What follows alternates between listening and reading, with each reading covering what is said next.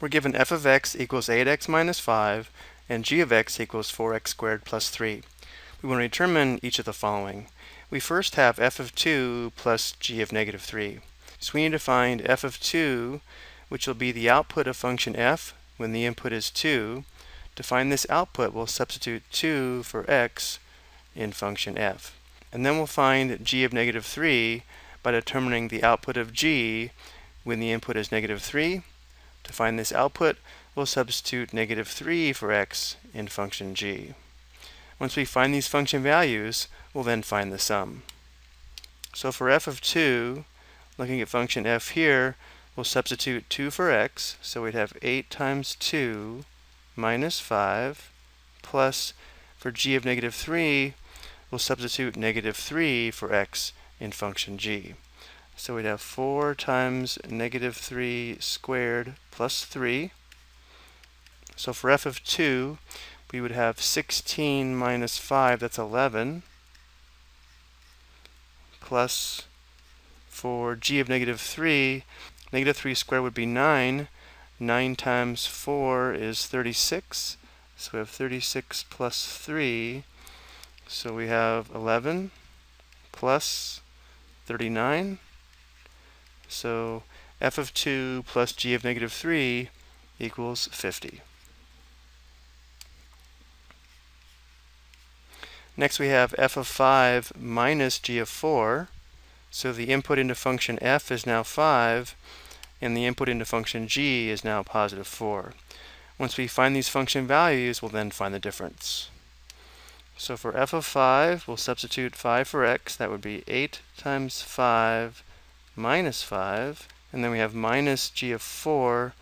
We'll substitute 4 for x in function g. That would be 4 times 4 squared plus 3. So for f of 5, we'd have 40 minus 5, that's 35, minus g of 4, we'd have 4 squared, that's 16. 16 times 4 is 64, plus 3. So we have 35 minus 67, which should be equal to negative 32.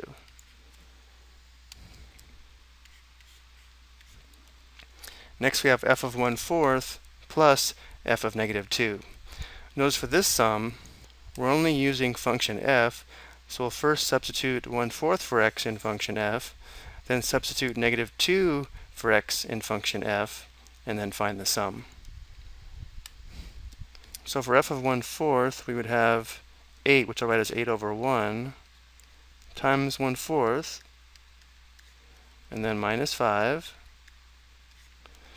And then we have plus f of negative 2.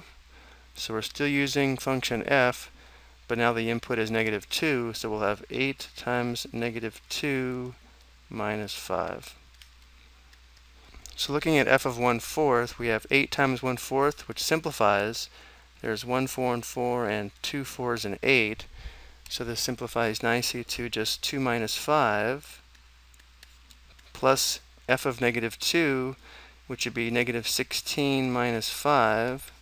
So this gives us 2 minus 5 is negative 3. And negative 16 minus 5 is negative 21. Negative 3 plus negative 21 equals negative 24. And for our last example, again, notice we're only using function f. We have f of 5 6 minus f of 3 eighths. So we'll substitute 5 6 for x in function f. Then we'll substitute 3 eighths for x in function f. And then find the difference.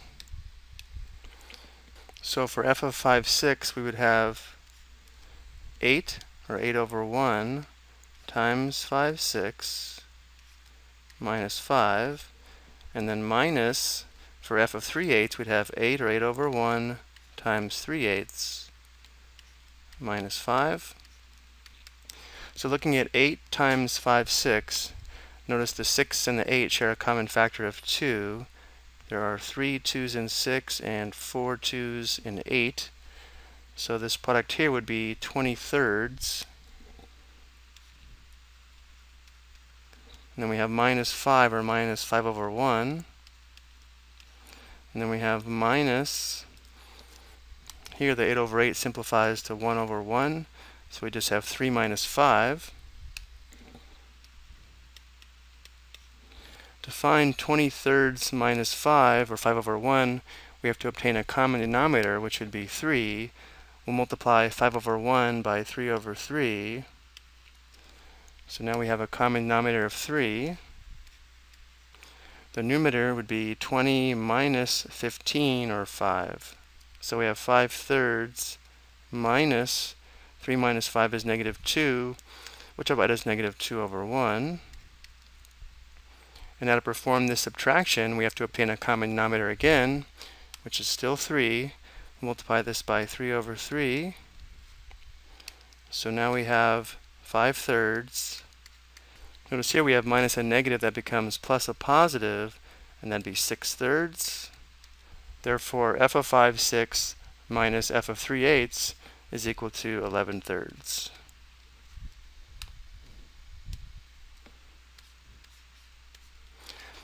I hope you found this helpful.